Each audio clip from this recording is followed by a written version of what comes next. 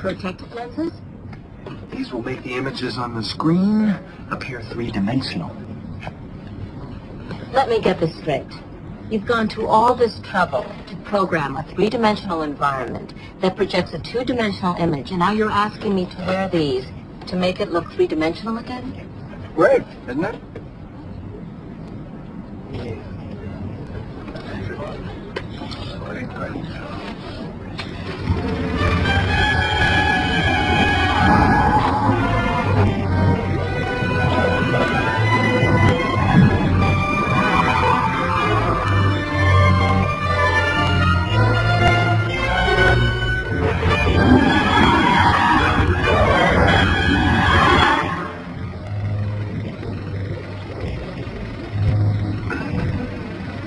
In your neck?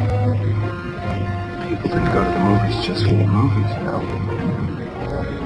Really? What did they come for? I'll try to demonstrate.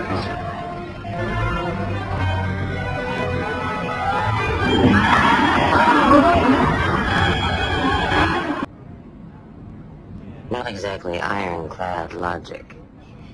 Call it. Remind me to pay more attention to your hunches.